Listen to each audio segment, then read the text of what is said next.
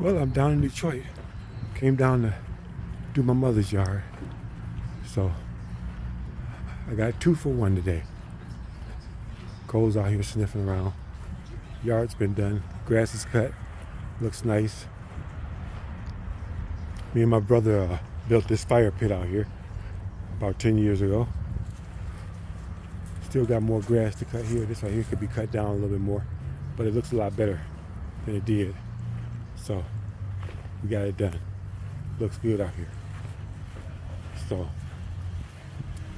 I had a productive day. Got my grass cut. Got the grass cut at my mother's. And uh, everything's good.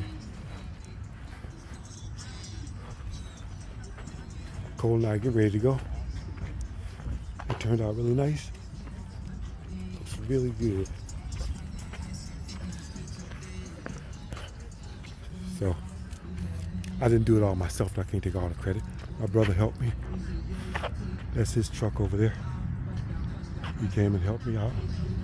That's his truck. So he's got the same tools I got. He's got the EGO system with the edger and the, the, um, the um, all the other attachments that go with the EGO system or whatever, the batteries and everything.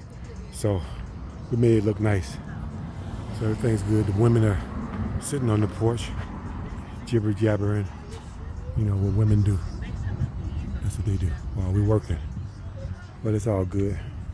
We made it look good. Everything's pretty. Looks nice. But uh, but we're ready to out of here. Anyway, that's that. I thought I'd show you guys what I did the rest of the day.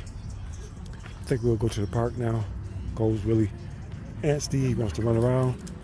He's being pretty good here in the hood. Everybody is in the house because they're afraid of Coal. Nobody comes out when Coal's out. Stop. Get over here. Yeah, nobody comes out when Coal's out. So they keep their distance. But uh, everything's good. But anyway, thanks for watching. I'll see you on the next